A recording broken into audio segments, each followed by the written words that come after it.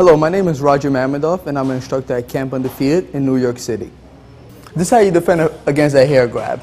Now, with me, I don't have to defend because, you know, I don't have that much hair. So as he does, imaginary I have hair, my opposite hand is going to grab right over his wrist and knuckles, and my left hand is going to come right in, in line with his wrist. Now, man, my right foot is going to take a step back, and I'm going to bring it forward. Now, I'm doing two things with this. I'm putting pressure on his wrist, and I'm also breaking his posture. Now, from here, depending on the distance, I could fire a knee, or if he's a little bit further back, I could just throw a kick. So swatch that again.